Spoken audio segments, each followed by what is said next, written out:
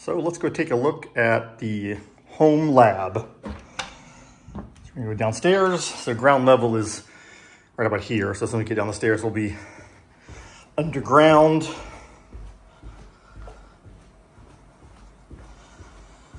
This door here goes to the secret lab. So we're not going in there. Uh, this is a mechanical room, which has the UPS um, 8 kVA uh, APC Symmetra UPS. Um, that's hooked up to these panels here, so power comes in uh, in this panel and fed to the UPS, and then everything out of the UPS goes to this panel, which then feeds the server racks in the room, the network rack, uh, a couple closets in my office upstairs, and then there's a little bypass switch there to bypass uh, the UPS entirely, all the wiring included. And um, then there's power feed here for that bypass. So if you want to bypass it to replace it, easy to do. Uh, those panels there have um, the IoTaWatts, which have little CT clamps through conduits the, on every single circuit in all of the panels in the house. So you can track kilowatt usage of uh, everything you're uh, doing. So UPS is humming away. You can see it has a red light on it because of course one of the batteries is bad, which every three years seems to happen in these APCs. Uh, some spare switches in case something goes bad. And then we'll go over here. We have a little kiosk monitor here that shows a couple different things. So this is the rack temperature, temperature outside, server room temperature, some other things, some ping times to different services, um, a few weather related things. And so this kiosk will oscillate between this and a uh, power output display that sort of shows some information there. So we're currently drawing 10.59 kilowatts. Uh, nine from the grids. We have a little bit of solar generation, although it's evening. Uh, UPS output's 3.7 kilowatts because not a lot of stuff turned on yet. Having just finished doing some rewiring so we can see our phase AB there and then a bunch of other things. Um, so we can use this to keep track of where all the juice is going. Uh, so the server is behind this door and it's relatively quiet out here. The door is really well sealed and this is all concrete. So uh, you really don't hear it back there at all until you open the door. And so there we are. This is the little lab. We have a little monitor here that also runs a display with some Proxmox stats on it normally.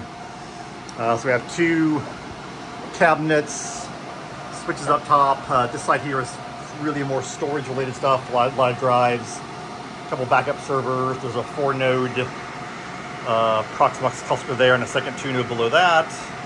Um, these ones are all SSDs. Um, they're for the VM storage system, um, Arista 10 gig switches, which will all these go back to the server racks and into the other servers. And then this one's some more application stuff. Uh, there are four compute servers there. They're all dual Xeon, um, half terabyte of RAM, used for different compute jobs, uh, another VM server, and some more storage and ZFS servers, and then some more switches for the generic switching, the white and the black go to each server in pairs for LACP, and then the yellows are the IPMI ports. Uh, and then these are fiber connected to the main rack over there. Uh, there's a little console area here. This is a screen, keyboard, and mouse connected to a set of KVMs. They connect all 32 machines in here. Um, and then a little drawer with the most important thing you need. Lots of optics, because you never have enough optics. Uh, rack here has some house wiring stuff in it, so uh, 10 gig core switch. All these fibers go over to the rack over there. Some of the single mode fibers go to two other closets that are upstairs. Um, and then a few other locations, some switches, PoE switches for cameras and a few APs.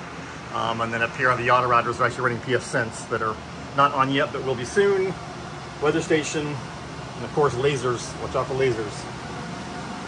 Uh, the back of the rack, pretty simple. A couple servers that are not, they're more desktop boxes. Uh, the rest are all regular servers, dual power supply. Most of them are configured with two sort of primary internet connections, Ethernet, and then an IPMI, and then two internal 10 gigs going to the storage array. Um, so pretty simple stuff here. I did alternating red power cables on the left and black on the right, so every server's connected to each of the two banks, so there's two phases. Uh, these are the APC PDUs. Um, and of course, switches up there. And uh, yeah, that's sort of the main parts of it. There's a little door there. That's where the Oompa Loompas live. So let's leave them alone.